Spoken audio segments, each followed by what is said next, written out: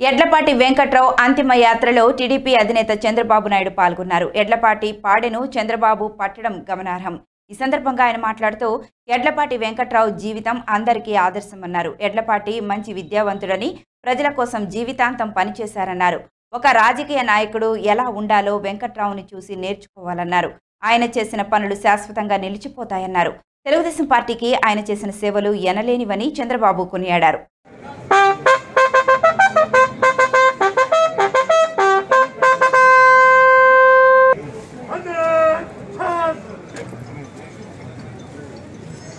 Heiliger!